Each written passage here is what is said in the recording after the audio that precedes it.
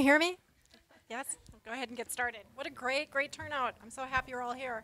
Good afternoon, everyone, um, and welcome to Alden Library. I'm Janet Holm, and I'm excited to usher in Alden's first ever summer series of authors at Alden. This summer, we are focusing on authors that have a connection to the region, either by research focus, locality, or both. Right now, I'm going to introduce to you our guests for today. I think Sharon probably doesn't need any introduction from what I've seen so far, but I'll go ahead and do this. Sharon Hatfield is the author of Never Seen the Moon, The Trials of Edith Maxwell, University of Illinois Press, 2005, and co-editor of An American Vein, Critical Readings in Appalachian Literature, Ohio University Press, 2005. Hatfield is a native of Ewing, Virginia, where she grew up reading Nancy Drew mysteries. She holds a master's degree in journalism from Ohio University, yay, and an MFA in creative nonfiction from Goucher College in Maryland. Hatfield received a creative writing fellowship from the Ohio Arts Council that allowed her to research Never Seen the Moon, which subsequently won the Weatherford and Chaffin Awards for nonfiction. She has taught creative writing workshops in Kentucky and Tennessee and currently works as a freelance book editor. Hatfield and her husband Jack Wright have made their home in Athens County since the 1980s. Both serve on an advisory committee for the Janko Foundation Fund of the Foundation for Appalachian, Ohio in Nelsonville. Hatfield has a longtime interest in local history and is a member of the Athens County Historical Society. She is currently immersed in the fascinating world of 19th century spiritualist Jonathan Koons, which she has begun studying, or which she has been studying for the past six years. Our interviewer today is alumna Kelly Riesbeck. She received her bachelor's degree in journalism from Ohio University Scripps School of Journalism in 1991, yay again. Um, since returning to Athens in 2000, she has worked as a freelance science writer, a PR liaison for the Kennedy Museum of Art, and writer public information officer for the College of Fine Arts. She's also the executive director of the Southeast Ohio History Center, formerly known as the Athens County Historical Society and Museum. She has been a host for WOUB Public Media's radio show, Conversations from Studio B, for 10 years, where she covers research and creative activity at Ohio. She has been the Assistant Director of Ohio's Advancement Communication and Marketing since 2011 and recently was named the Managing Editor of Ohio Women in an imprint of Ohio University's alumni magazine, Ohio Today, and Managing Editor of Ohio Today's website, ohiotoday.org. So without further ado, I will turn this over to Kelly. Thank you, Janet. Hi, Sharon. Hi. It's been a while since we've talked for a little bit, longer than mm, a couple minutes, but I'm really glad to be here today. Um, I was fortunate enough to have read this book. Um, you gave this to me a long time ago, and you even wrote in it, and I wanted to bring it so that I can show everybody that this famous author actually did write a little inscription for me. so I'm very thrilled to have read this. I just finished it a couple weekends ago, and I was really sad to put it down. It's a page turner. Well, thanks. So, yeah, we're going to talk about that a little bit. Thanks everybody for coming today. It's super hot out, so it's really great that it's all nice and cool in here and among friends. Um, we're going to take this conversation um, through a journey of who Sharon is um, as a person, um, also uh, as she has developed as a writer, um, and also how she has uh, been writing for um, different publications and also for her uh, two books that she's written.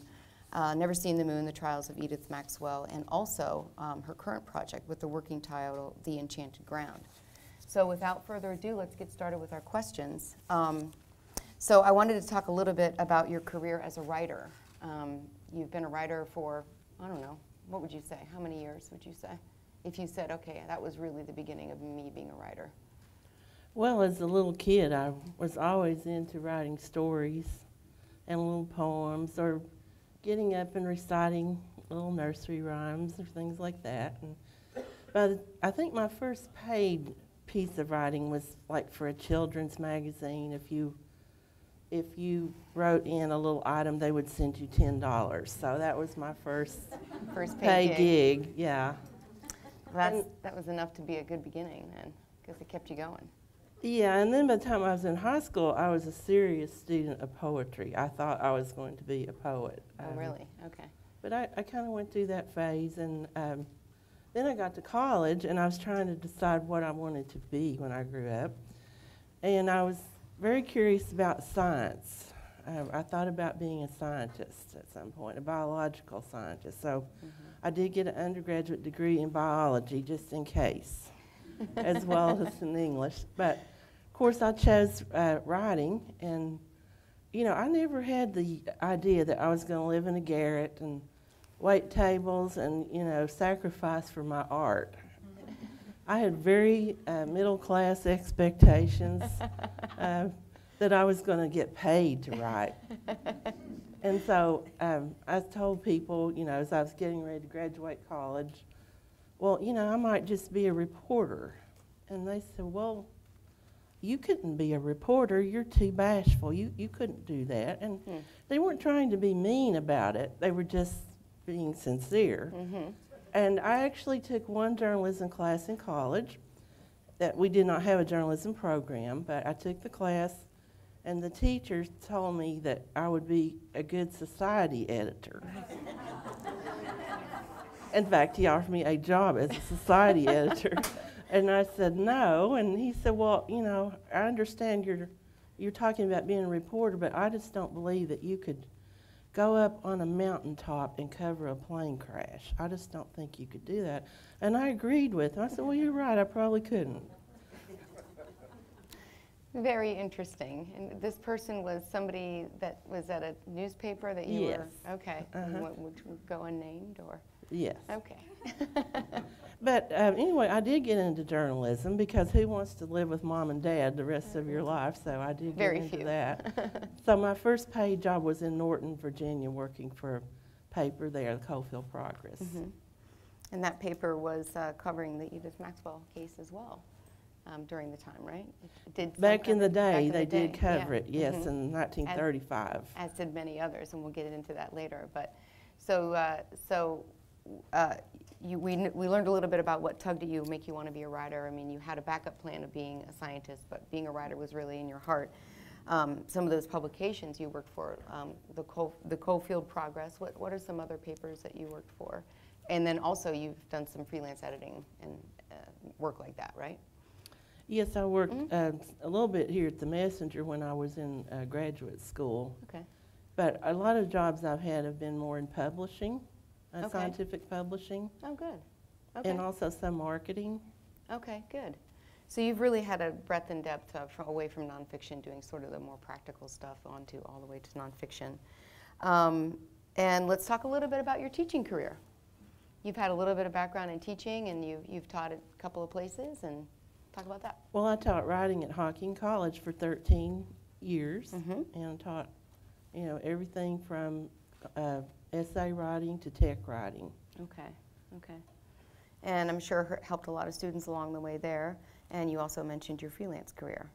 Um, now let's talk a little bit about your nonfiction writing career. Um, uh, there have been uh, a couple of books. Um, we'll, we'll just mention that An American Vein, Critical Readings in Appalachian Literature is one of the books that you worked on. Um, but the first um, big nonfiction book was the Never Seen the Moon, Trials of Edith Maxwell. So let's start talking about that a little bit.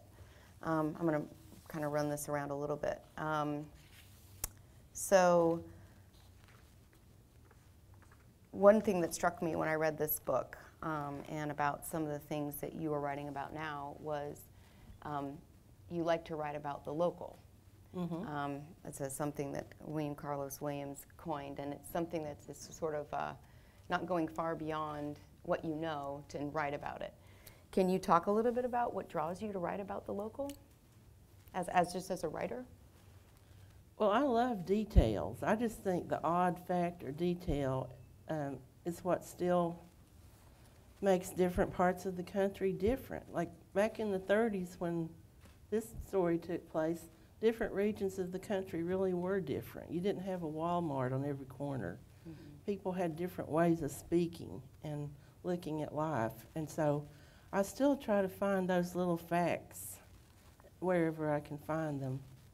And uh, I have a friend, Gurney Norman, who's the poet laureate of Kentucky a few years back, and he always talks about the national media being the big eye that's looking down from afar, Mhm. and that, you know, if you're kind of a local historian or local person, you're the little eye and you're seeing the details. You're down on the ground level. Mhm. So that's sort of a guiding principle. And would you say that the resources a local writer and a local reporter who's known in the region, the resources they have and the people they know, uh, um, offer quite the advantage over that national reporter? And I think you've you really outlined that really well, I think, in the book about how the national press was seeing the, the mountain people in one way and the local people were not, not very pleased with that characterization. And I think both perspectives are valuable. Because I asked the question in there in the preface who can best tell the story of any area or any region? And uh, certainly the local people can, but also the outsiders. And I think the blend of that is really important in getting at the truth. Of course, in this case, uh, there was a lot of stereotyping of Appalachian people. And when I began doing the research, I used to get really angry. I'd be down in the basement library, you're looking at microfilm, and I would just get really upset with some of the things that were said. Well, let's give, give an example so people can understand and the, uh, and the, so you can illustrate some of the things that were said about this culture that were just uh, completely misguided. Well, um, they were- would talk about how that women couldn't serve on juries in Wise County, Virginia, because women were not regarded or well thought of there. When in fact, in about half of the states in the United States, in the 30s, women were barred from serving on juries by law. Right, until it became a federal law that it was, had to be the same everywhere. Later on, I believe, right? Well, it was state by state. I State believe. by state, Yeah. okay, okay. Um, So not only does the book go into issues of feminism, but the book really does go into four sort of larger issues. So the story on the surface is about this woman who had multiple trials um, to try her um, for the murder of her father. But what the story is really about, um, to me, was these four larger issues, and you mentioned this in your preference. Um, feminism, domestic violence, prejudice against people who are different, and the news being delivered as entertainment as opposed to factual record. Um, so I wanted to talk a little bit about each quickly. Um, I learned that the National Women's Party wanted to use the Maxwell case to launch a bid to do what you just said, to give women a federally sanctioned right to serve on juries. Um, and the, the woman who came down from Maine, uh, the lawyer who came down from Maine, what was her name? Gail Laughlin. Gail Laughlin, um, insisted that everyone was truly should be truly tried by a jury of their peers. So when um, an all-male jury was seated for Edith's trials over and over again, she really insisted that that wasn't um, a jury of her peers, and that was one of the things that she wanted to really use the case to forward her agenda. Exactly. Um, and so, I mean, wh- when you found out that that was happening, that, that's a national scale type of problem, um, writ small on the local level. And that was one of the things that made me realize that this story was more than just a typical uh, murder trial because that was a big issue throughout the country that um, I'd never heard of the National Woman's Party. I didn't know that Alice Paul was a national hero. In fact, I kind of wish I had written a biography of her uh, as well. Once you got into learning about who she was, okay. But th- the real irony of the story is that Edith Maxwell was not politicized. She, she was just a pawn in the game because she really didn't want to be a feminist crusader. She wanted to get married and have kids. Right. And she was afraid that her association with feminism would cause people not to want to marry her. And that, that is a, a reflection of the times Yes. um, across the country that was not specific to an Appalachian culture. And I think that's what um, the news media was trying to paint it as, as something that um, only in this part of the country could you find somebody who, who was uh, seeing the world so small, according to them. Um, so I thought that was interesting, and I didn't. Again, I didn't know about the National Women's Party and what they were, what their what their stake in the game was. So that was really interesting. Um, domestic violence um, wasn't really talked about a whole lot until this case, and it really started coming out. Um, maybe you can just give people a really brief um, explanation about sort of what she was have alleged to have done. Okay, Edith Maxwell was a 21-year-old school teacher. Uh, she was on her summer break in July of 1935, and she came home late one night. She'd been out to a bar, and uh, even though it was, uh, well, prohibition had just ended, but she wasn't really, because she was a school teacher, she wasn't supposed to be out drinking or out even at a bar. She and her father, 52-year-old Trigg Maxwell, had had an altercation. He was waiting for her when she got back home. He ended up um, having head injuries. He was found outside with his body in the kitchen and his head on the porch, and he died of head injuries that evening. And both Edith and her mother were arrested and charged with murder. And the initial thought was the murder weapon was her, was her High shoe. heel shoe, yes. And so that's, that's, a, that's a story that, of course, um, any, any paper would love to cover. And they did love to cover it. Yes, they did. Somehow in Washington, D.C., the Hearst newspapers found out about this, and there's a lot of speculation. What did somebody there in the county call them in, and so who was it? Right, right. Well, I, I, like you said before, all of these little details just lead to other little um, surprises along the way when you were doing the research of this book. And I just think that would have been a joy.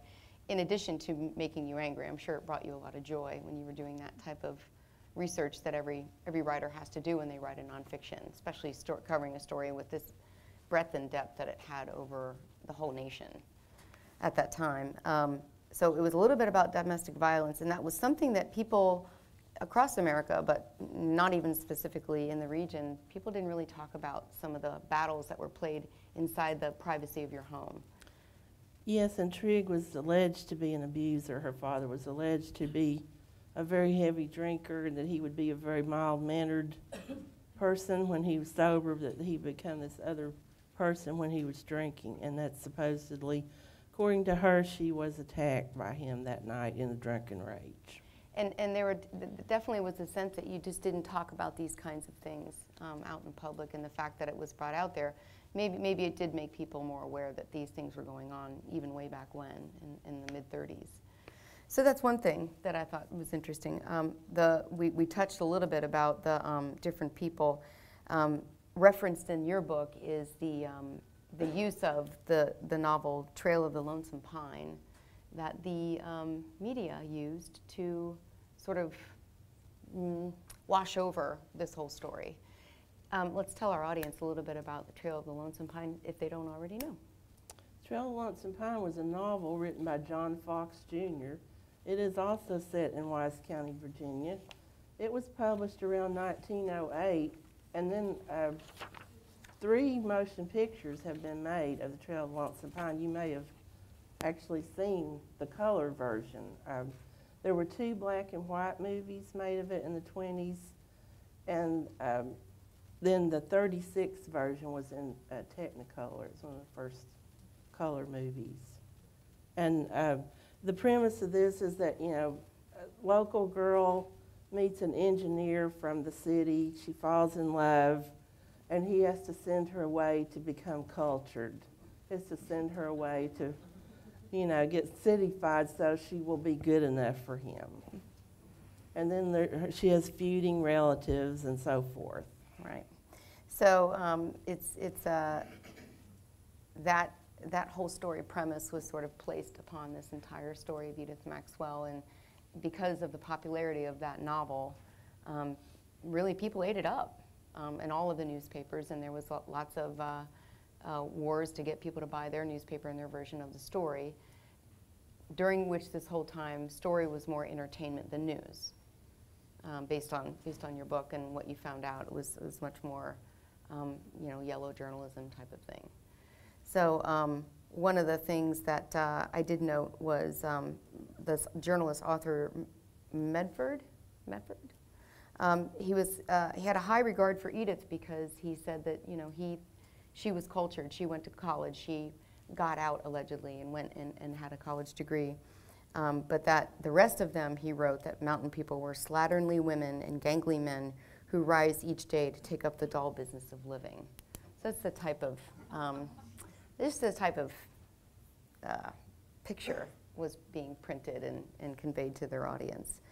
Um, That's a great quote you chose. I, um, it- really shows you the positive stereotyping that was going on with Edith, and she was, you know, she could do no wrong, and she was above everybody else in the community, according to the tabloids. right. And so it, that juxtaposition of this negative and positive stereotyping really led to a lot of uh, pretrial publicity that was very unfavorable to her on the local level. Correct, right. So it didn't really help her at all. Um, do you think that perceptions have changed all that much since the Maxwell trial? Um, it's a loaded question, I'll admit it, but I felt I had to ask it. Well, I think the media is better, certainly better than they were in the 30s. We don't call women girls in the paper, or we don't cause, call um, developmentally challenged people morons. I mean, we have improved in our language at least, but um, there are still some pockets. Um, I was reading about the Piketon uh, murders, and I believe it was the Mhm. Daily Beast, and That's going to be an interesting story. it was it really, unfolds. really kind of getting into that, to me, that yellow journalism area of stereotyping. describing the people there. Mhm. It'll be interesting to see how the media cover that for sure as it unfolds. Um, so, how does the way Appalachians are perceived in society today affect or inform your writing? Do you keep in mind the way that the perception is of the of Appalachian people when you write, or do you do you just write? Does it influence your writing and your choices? Mm, I don't think so, not a whole lot. I mean, this one book, that's the book I wrote about representation, and I'm ready to move on. Okay. Okay. And so, the way Jonathan Koons was represented, he also lived in Appalachia, but it was totally different. okay. So it's not been a huge factor in this new project. Okay, good. Um, so we talked a little bit about the news as entertainment, um, and we talked slightly about uh, how the coverage helped or hurt Maxwell's case, um, and ultimately influence so-called blind, blind justice. But as you just described, the the um, elevating her as a um, cultured person because she went to college did not help her in terms of the perception of her locally um, but it did help her, for, for, from some newspapers' perspectives, elevate her um, as somebody who was better than, than the rest of the people she was living among. So um, that, that was part of, the, part of the whole story in your book, and you just, you just play it out so nicely. I really encourage everybody to read this. It is literally a page turner, and I really enjoy reading it. I also, when I read it, I could hear your voice and your song of your voice in my, in my head, and that made it even more pleasurable. So. It was a great read. Thank you. Um, so let's talk a little bit about writing craft. We were going to talk about this earlier, but I feel like we can now that we've established this this incredible amount of research. And I think you this was published in 2005, and as the um, as Janet mentioned, it did win the W.D. Weatherford Award for Nonfiction and Appalachian Studies in 2005. And then the next year, it won the Thomas and Lillie D. Chaffin Celebration of Appalachia Writing Award. And so that's a huge um, back-to-back awards for something that was so informative to, to the culture. Um, uh, so, w- w- 10 years? How long did you work? Tried 12. 12, okay. 12. 12 years in, in writing and researching. I'm trying to speed up now. Yeah, okay. well, don't go too fast because this was really good. We don't want to miss anything. Um, so, all right, let's talk a little bit about um, the process, uh, a writing process and the writing craft.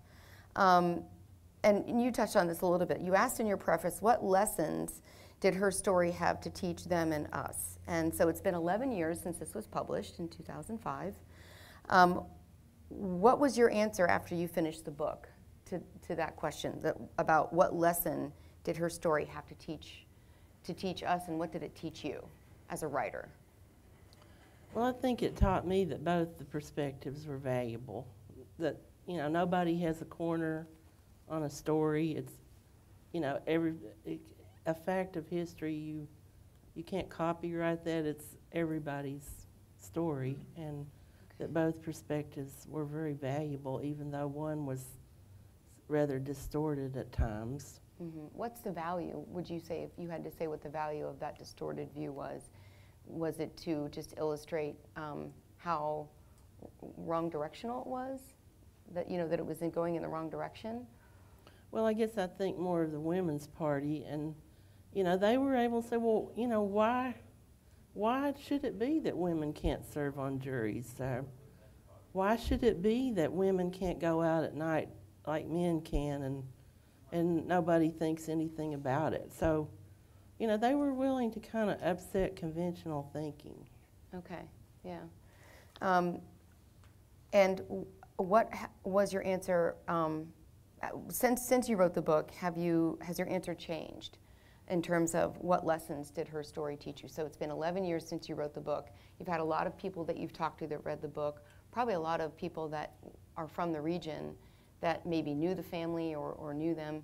Has your perception changed about what it taught you now that you, you're 11 years out and you've, you've said, okay, I've been there, done that. What, what have I learned as a writer now that this has been done for about 11 years? Oh, I don't think I've really found out a lot of new information that really changed the conclusions. Um, I did, I was contacted later on by a granddaughter uh, of Earl Maxwell, and she was able to. Earl Maxwell was her brother, who- Brother, and yeah. her chief supporter in all of her trials. I did not know uh, where this woman's whereabouts when I was writing the book. She was able to provide more detail on it, but nothing that really changed the conclusions. Okay, okay. So the, maybe the- one of the lessons you learned is that the story will continue, but you're ready to kind of move on? Yeah. Because you've been there, done that. Okay. Um, the, um, you also write in, in, in, the, in the preface that, you know, how can I, an Appalachian woman, tell Ida's story in a way that would honor the culture we both shared without papering over some unpleasant truths? Um, this is a tough question, and it's probably going to be a little unfair, but do you have a definition of what an Appalachian woman is today? Or is the very question sort of, sort of absurd? Well, um, there's many different ways to define it. Like uh, when we were doing the book about Appalachian literature, uh, me and my co-editors, well, how do we know what to include? What what is an Appalachian writer? Yeah. Um, so you know, I would say it's people who write about the region, or their their stories are set in the region, or they're from the area. Mhm. Um, do you have sort of uh, a definition of writing craft that you stick with when you start writing? Do you sit down and say, this is my method, this is the way I do things, this is the way that works best for me, this is where I shine, this is where I could use some work? Well, the first, um, the Edith Maxwell book, I did all the research and then I wrote it. Okay. I had these stacks of paper everywhere, and I was like, "Oh, what do I do now?" okay. So um, I don't do that anymore. Or, And so why, can you tell me what, why, why you chosen to take a di- different way? Is it just because it was just too untenable and too, t- it just was too much to, to really organize all at once? it, yeah, I think it's a lot more efficient if you write up what you find as you go along. Okay. At least in sentence form. It may not be in chapter form or even paragraph, but I think it's better to write it up as you go along, and it helps you reflect on what you've just found out. Okay, okay. Um, and can you, we just talked about this a little bit, what do you feel like your greatest strength is as a writer? You, Sharon, what do you think you bring to the page better than most people can? Well, usually I leave it up to other people to, to say, but um, going back to the details, it's Mhm. kind of a blessing and a curse because um, a lot of times I, I get sidetracked into other Hmm. stories, and you know I think, is this going to be a spin-off or is it going to be part of the book? For example, when I was doing Never Seen the Moon and learned that a Hollywood movie had been made out of it, um, that completely blew my mind and uh, I ended up getting to go to the California and do research on the movie, and I ended up writing some articles about Appalachian women's portrayal in films. So Okay, it can turn into a whole other thing of its own sometimes. So I would say that your strength is just that insatiable curiosity. Yeah, I like that. Okay. I like that. Couldn't we also say that it, it sometimes ends up being your greatest weakness? Because it, it definitely gets you sort of the off track, and I, I suffer from the same uh, uh, infliction, by the way. So I have, I have the same problem too. I get very curious about things too much. Well, it does affect the pacing of your story. If you're, you know, the reader will tolerate a certain amount of backstory, but some people will just put the book down and say, you know, it's taking too long to get to the action. to get to the action. Would you say that a really good editor helps with that tremendously? Mm-hmm. Okay. Yep. And and did you did you have uh, the editor? You want to talk a little bit about the editor for this book? It was published through the University of Illinois, right? Mm-hmm. Okay. Um, I had a really great editor named Judy McCulloh, but I also, prior to that, I had gone through the Goucher MFA program, and I actually had four writing mentors during the course of the two-year program, and all of them had a hand in editing, especially uh, Diana Hume George, who has been here on campus as a visiting professor. She really helped me with it a lot. So all that happened prior to uh, working with Illinois. Oh, okay. Okay. So that was the final step. So your greatest strength and your, and your greatest weakness is sort of sort of that, that insatiable curiosity. But but um, again, I just think it really informed the reporting on this book, and it was just a it just was um, just a really a joy to read. It really was. I highly recommend it. So let's go on to having. Um, let's talk a little bit about the new project, which I know that you've been working on for. How long have How long have you been from beginning to, to, to today? Would you say how long have you been working on this book? I started in the summer of 2010. In 2010. Okay. And some of the locations that you've been to um, to research this book. Tell us where those have been. Well, the story is about Jonathan Koons, who moved here in 1835 from Bedford, Pennsylvania. And that's one place that my husband and I have been to do research there at their historical society. And I'm hoping to possibly go out to Illinois, which is where he lived after he moved away from here in 1858. Okay. And um, I think locally you've been to the Southeast Ohio um, History Center as well. Yes, Mhm. I've had a lot of help there from um, John. I don't know how I would have navigated all the documents there without his help, but it's been great. No question. Um, and I believe the, um, the Koons family, well, let's back up a little bit. It, it's about spiritualism. The, the whole book is, a, well, it's about him, but the, the, the overarching theme is spiritualism.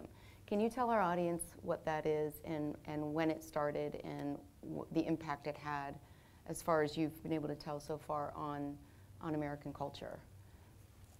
Spiritualism started in 1848 in New York State. There were two young girls there, the Fox sisters, who thought that they could communicate with a peddler's spirit. A peddler had allegedly been murdered in the basement of their rented home, and they thought that they could, uh, through rapping noises, yes and no, that they could communicate. And this spawned a very uh, popular movement in the 18, late 1840s, early 50s that continued on through the 19th century and even around World War One. It was quite uh, popular, and um, spiritualists believe that the soul or consciousness does survive death, and that through the séance uh, one can access those spirits. Okay. Um, the access to spirits, we, when we, which is really strange that that noise just happened. just going to make, the, make, make that notion right there. Um, spirits meaning people that, um, you know, uh, are, are not, not all the way parted because they have something else to do. There's a reason why they're here. And that was the reason why people who were able to contact the spirits were hired, essentially, to um, bring those people back, at least temporarily, to make peace with the living. Is that about Well- what it was, or? Um, to offer them comfort and advice and to assure them of the immortality of the soul. You know, that they need not grieve so much because it was really just like stepping into another room. Interesting. Okay. And it was also a reform movement. There were many reform movements in the 1840s. Uh, women's rights were coming into the fore. Um, there was clothing reform. Uh, you know, a lot of women died from their skirts catching on fire and things like that. And so they were looking at clothing reform. They were looking at, of course, temperance was another thing.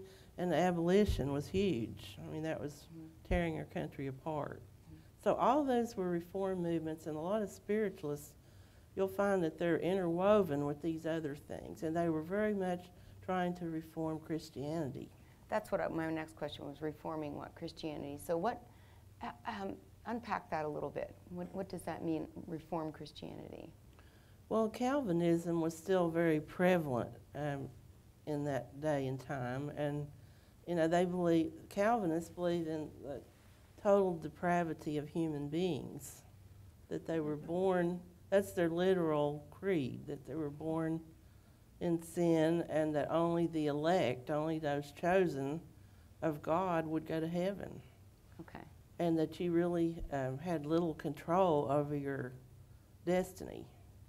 And so spiritualists didn't really believe in hell. They believed that you could progress through, you know, many layers of self improvement even after you had passed. So this was very comforting to a lot of people. hmm Okay. And this was in, in tandem with all these other kinds of reform movements happening throughout the U.S. Okay. Mhm. Um, so your research process continues, or are you done with the research now? Um, when it comes to getting all the information that you feel like you need to write the book. We've talked about this privately about how you could just research forever Mhm. based on our affliction that we share. But um, so, are, were you? Would you say that you have enough now to really begin begin the writing process? As as it, as, it's a, as it remains a work in progress. I'm nearing the end of the research, but I'm always still interested in hearing about any from anybody who have any information. Maybe about somebody it. somebody here today. Possibly, Okay. hopefully. yeah. Okay. Um, so we're talking at least what's 2010, so six years that you've been researching this. You've gone to Pennsylvania. You've you've been here.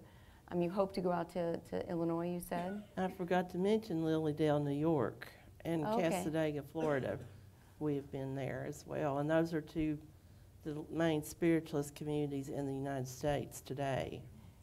And, and oh, okay. So this this this this movement continues today, the spiritualism movement. So some people still Yes. practice it. Yes, a Little bit? uh, but it's not really as widespread as it was back then. Right. Okay. But it has a lot of spin-offs, of course, New Age, what we called it in the 70s or 80s. Yeah. There's there's spin-offs from it, but not not too many people are actually spiritualists anymore. Can you characterize the, the folks that you met in both of those locations? You said New York and, and in Florida. You know, did they, I mean, when you met with them, did you interview any of them? Did you talk to some of their, the organizers? Well, I, I went to see a medium in Lilydale, Lilydale New York, because I wanted to understand the experience. Um, because I realized that these people who went to the mediums, whether or not it was fake or real, many of them did have a religious experience. And if you think about shamans, uh, a lot of what they did or still do could involve some manner of deception, but yet people find meaning in the experience. So that was one of the reasons I went. Okay. And, and that experience for you was just as you expected or something different? I'm sure you had a notion of what you thought might happen. Well, I was pretty skeptical about. I know there are some people that really are talented and can tell you things that they might not have any way of knowing, but I was pretty skeptical, and I, I had my expectations were kind of low. hmm And uh, but you create the narrative with the person. Okay, so that's how it kind of works. It's more of a dialogue than it is, I'm going to sit here and not say a word, and you, medium, are going to tell me everything because you can somehow get inside my head. Right. Okay. And the one in Florida was similar to that experience? Um, down there, I went to a service. I didn't. Tell me what that is. I went to a Spiritualist Temple there in Cassadaga, Okay. and um, it was a wonderful service. Tell me what happened. Well, it was a lot like, uh, well, no, not a lot. One of the things they did, which was really interesting, is they had you do a meditation in church, and you would sit, and the minister would guide you through a meditation from head to toe, and it was all about, you know, love and being love, and it was really nice. That sounds lovely. And the only part that was really different, well, there were a couple parts. Um, if you were there and you wanted healing, you would go to the back, and they had these chairs set up in the back of the auditorium, and the different healers would come and work with them. Okay. And then um, the only really, really unusual thing about the service itself, the sermon, is you know they would um, pick out people in the audience and say, "I see your spirit. This spirit is here over your left shoulder, and this is so and so," and that was really different. Very different indeed. Um, what was the reaction of the people in the service? They attended before, so this was expected, or did they have some newcomers in there that were really uh, blown away and just really had a had a big reaction to the service? Um, I really am not sure whether they were newcomers or um, were regulars, but they did feel, you know, they could connect with the story in some way. They seemed to. Okay. So that's all part of your research. Uh-huh. In addition to, um, tell us what kind of research you've done at the libraries, at the Levering Library, um, uh, at the Southeast Ohio History Center, and did you do any here at, and uncover anything here at Alden Library? I've done research here at Alden. Yes, I have found some local history items here in the archives. Also, um, one of the things we've done that Historical Society um, is I'm a big believer in looking at deeds. Why is that?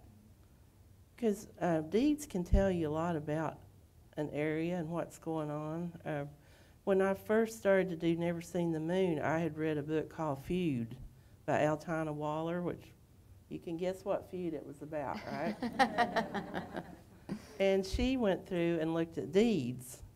And that's, I decided to do that for this book. And then for the one now, John has helped me look through all years worth of deeds for the Koons family and for his in-laws, the bishops.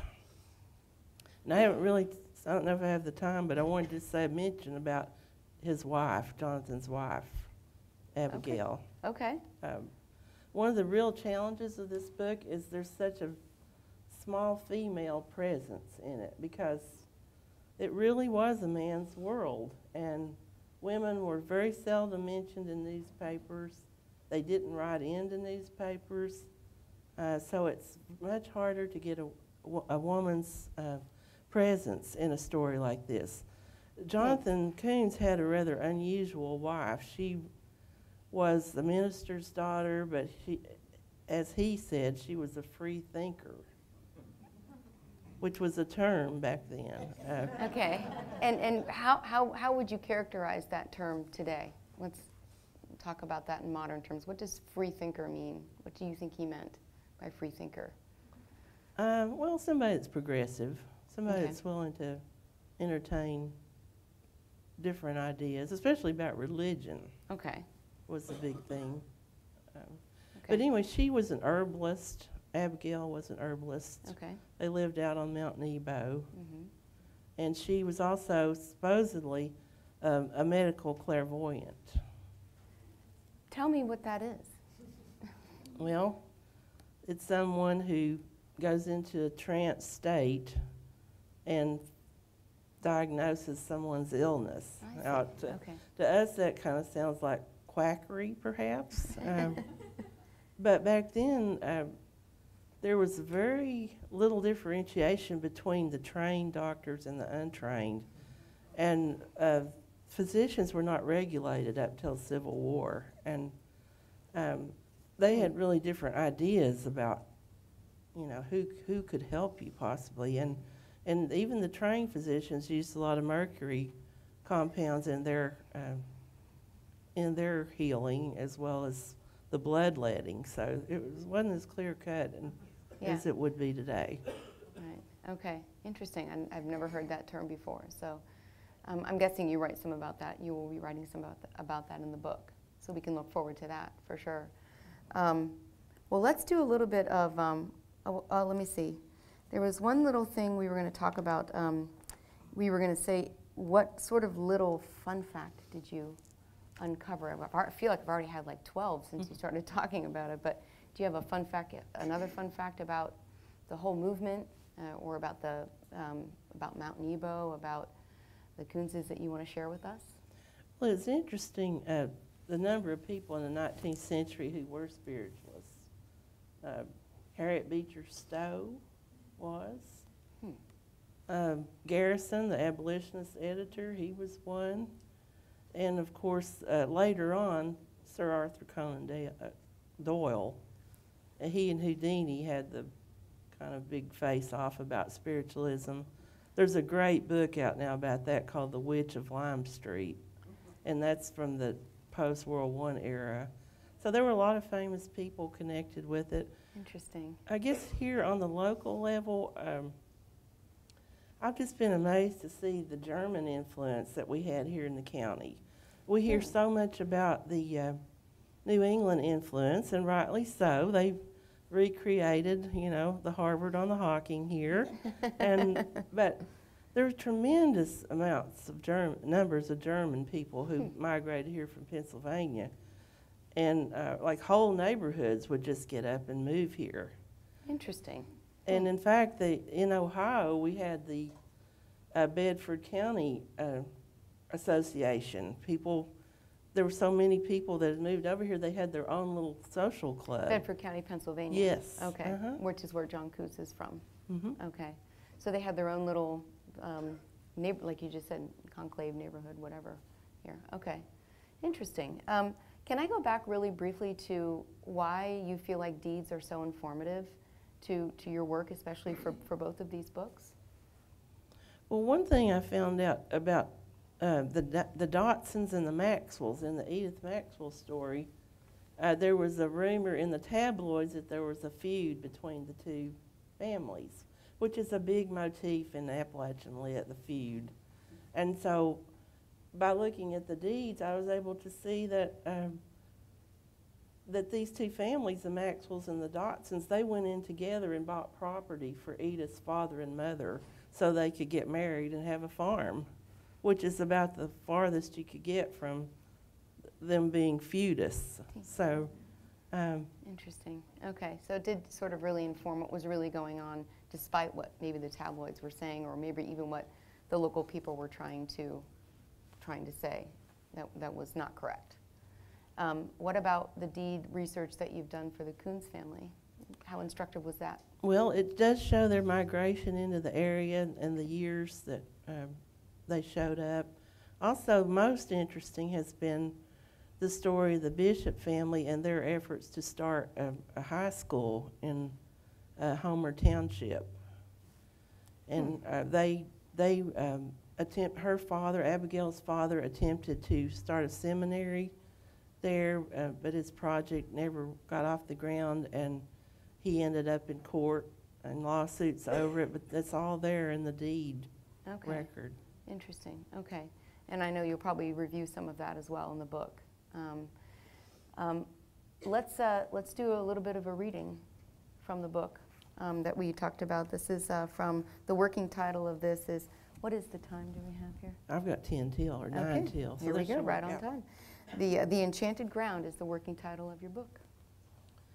Okay, well, this is a, a scene that takes place at Jonathan's home place, which is on Mount Nebo. They didn't call it Mount Nebo then, but it's such a beautiful name. I've been using it.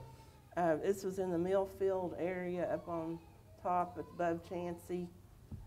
And um, he, is he has already become a spiritualist and he's starting to open up his house and have seances for the public.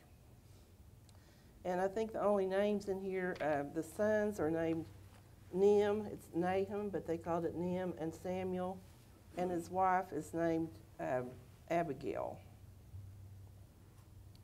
On a November day in 1852, Jonathan Koons was digging for treasure. He was spading up the ground under a hickory tree in the woods near his house, just as the spirits had told him to. The adventure had begun the day before when his sons Nim and Samuel, aged 15 and 12, were herding some cattle home from a grazing lot about a mile away. While passing by a scattering of stones that circled the hickory, the boys felt something plucking at their arms, grabbing their wrists, trying to pull them off the path and toward the rocks. Spooked, they returned home and wasted no time in telling Abigail what had happened. Mrs. Koons guessed that spirits were trying to communicate, so she, Jonathan, and likely Nim repaired to the spirit room, that's this little tabernacle beside of their house, to find out the meaning behind the boy's scare. The shade of an Indian chief revealed that he and another entity had accosted Nim and Samuel to call attention to what was actually a burial place. There, the chief said, Jonathan would find the ashes of his body together with his weapons. Giving his name as Joanna Gianna Musco, the invisible explained that his tribe had been at war with another tribe that was allied with the whites. So I'll skip over this one section where um, Musco talks about the battle that took place between two Native American tribes. Despite the ferocity of Musco's attacking force, he himself was fatally struck by an arrow. To honor his dying request, Musco's warriors burned his body on a pile of wood and buried his ashes and personal effects under the hickory tree, placing the stones around it. As proof of his authenticity and, and as an example to unbelievers, the Spirit asked Koons to take two neutral observers to the spot and dig up the relics. The message made sense to Jonathan and may have come as no surprise. He had whittled a rude homestead out of the forest of Mount Nebo, one of the highest elevations in the county, in an area that reputedly had been a sacred spot to the Shawnee Indians. Maps made much later would depict the Mount Nebo Trail threading along the ridge top, possibly a reference to a time-worn path trod by the Native Americans. By the time Abigail and Jonathan took up farming there, the Indians had long been driven out. Yet here in this western land, their spirits still lurked among the glades in which they had sported. Just a few miles from Mount Nebo, fanned out the broad expanse of Wolf's Plains, where monuments to a much earlier Indian presence remained. Here along the Hocking River, the ancient people had constructed a three square mile complex of circular structures. Settlers had noticed not only conical burial mounds, but an unusual earthen enclosure that reminded them of an old fort. Later scholars, however, would interpret this open air structure as a ceremonial theater where shamans, often under the influence of hallucinogenic drugs, sought entry to the spirit world. Here, perhaps two millennia before Jonathan Abigail, Native Americans had donned wolf skins and lit fires, performing their sacred rites under the light of the moon. In his role as ambassador and guide, the shaman would contact spirits from the other side, sometimes those of animals and sometimes those of the dead. The magnetic pull of the buried man's instructions led Jonathan to the woods where the boys had been affrighted. Little Samuel was not with them, but Jonathan had convinced two neighbors to join him and them on the quest.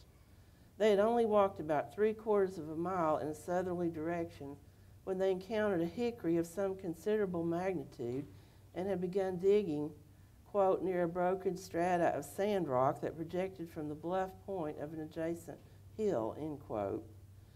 With Ames Township residents Emmanuel Evans and George Kearns looking on, Jonathan scraped aside the husks of last summer's leaves and removed one foot, then two feet of dirt. The black forest loam began to yield to red clay, and still not a trace of anything unusual had turned up.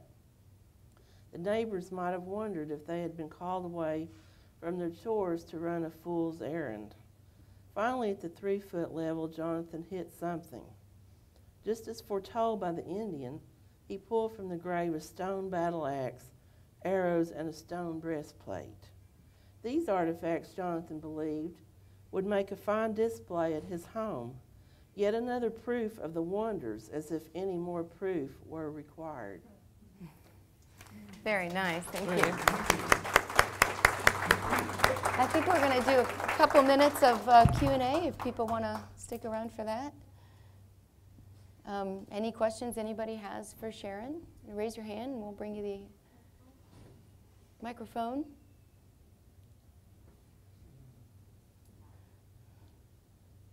You said the boys were affrighted. Can you just say about the use of that word and how you, is that a word that's in your everyday vocabulary? Well, I was in a writing workshop up in um, Chautauqua, New York, a couple of years ago, and I read a little piece, not this one, but a different one. And one of the participants in my class said, Oh, I notice you're using these 19th century words. And I'm like, Oh, really? Okay. So now I've made a conscious effort to do that because they had wonderful words.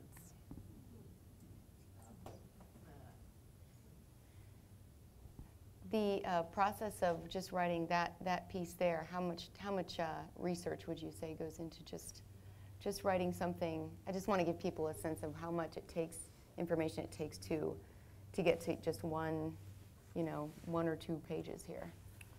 It's a big well, effort. Yeah.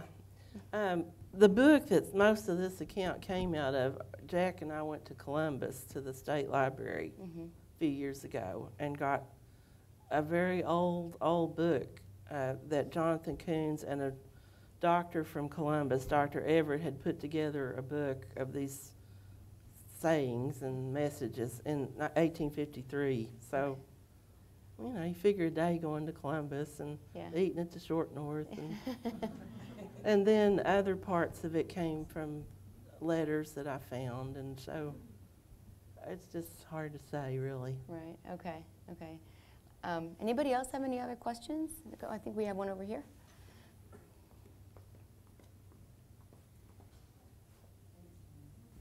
Um, Sharon, when you were reading your piece, it was really clear that you write in a very conversational way. I mean, you're speaking and you're writing. That's one of the things I think I loved about reading the book was that I just felt like you were talking to me. At the same time, you were packing in so much information about like the way that you know the direction the thing was shaped. Do, do these sentences kind of like flow out, or how do you how do you mix the conversation and pack in? You know, what sort of process is, is going on there? Well, I think it's always a challenge to try to um, write in scenes as much as you can. And I tend to just write everything out as an exposition the first time, or maybe the first three or four times, and then uh, go back and try to put in scenes.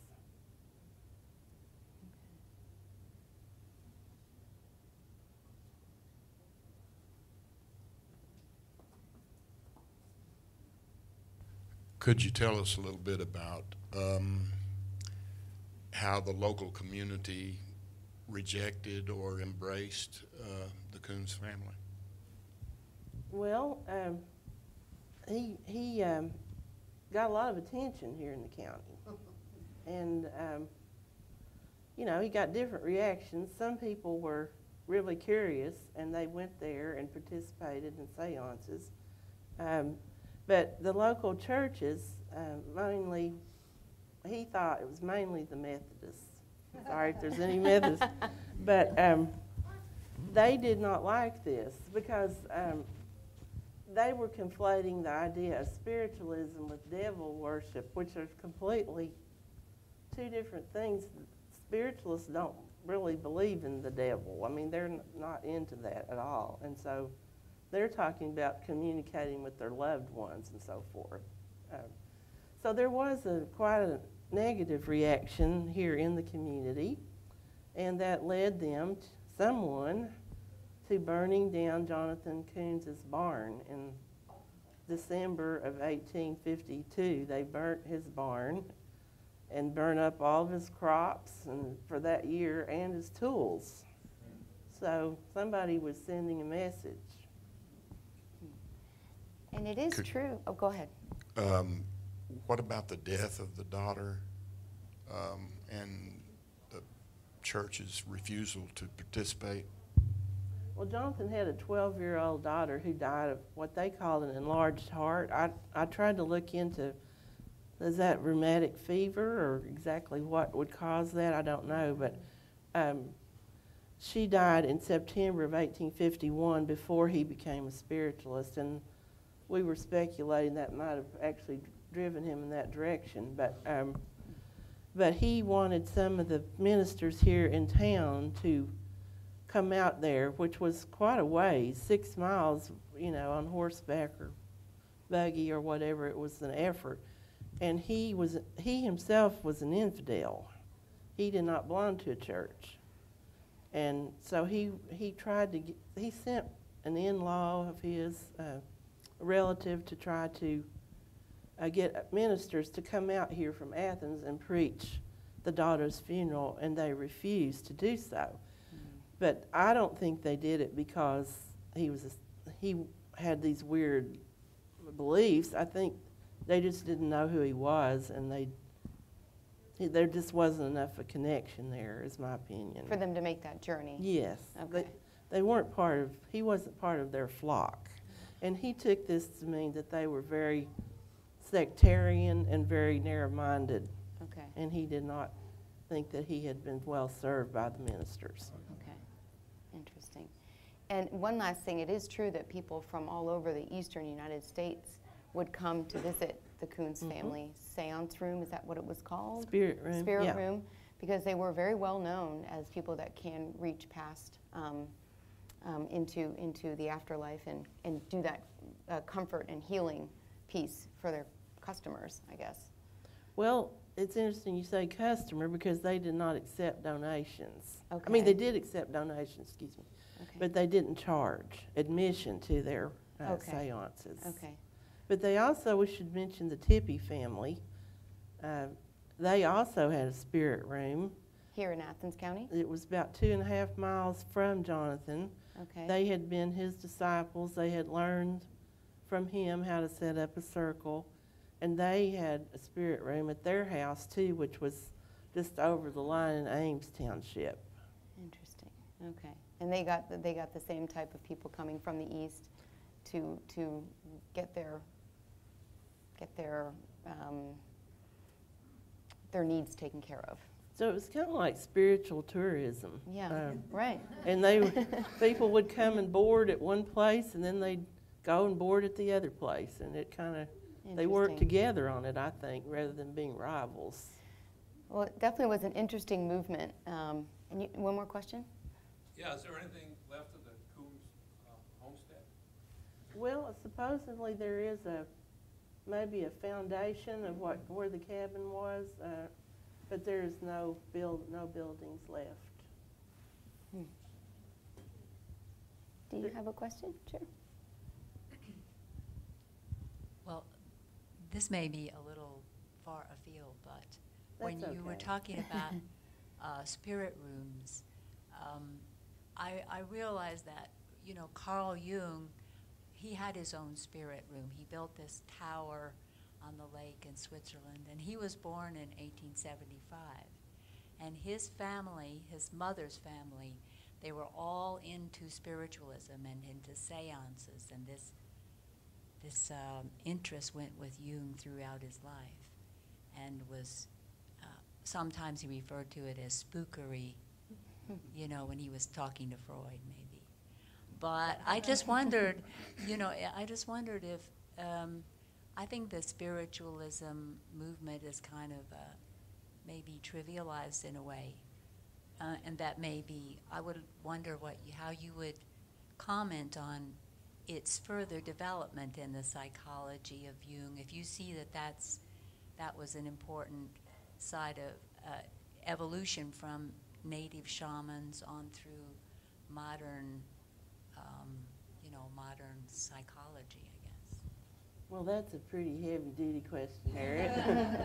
um, I've really been influenced by Carl Jung a lot in my own thinking about life and the collective unconscious and, and so forth. So uh, I don't think that the ideas of the spiritualists were in any way uh, in conflict with a lot of his ideas about archetypes and so forth. I would like to address what you said about trivializing. Uh, the thing, and that's kind of a challenge uh, in writing a book like this. You might have noticed that when I read the part about the spirits communicating with Jonathan, I didn't put allegedly or purportedly or supposedly because that would really just deaden the whole thing. And but you kind of have to get into their world and just say, think, you know, I'm not necessarily saying this happened that way, but it's how they perceived it.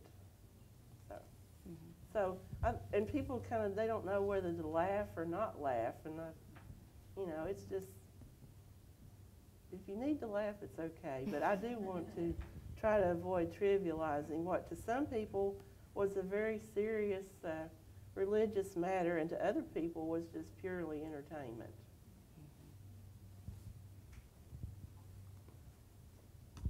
I'm hoping Sharon will stick around for a little while for more questions, and I just want to thank both Kelly and Sharon for being here today and for all of you for joining us today. Of applause. Thank you,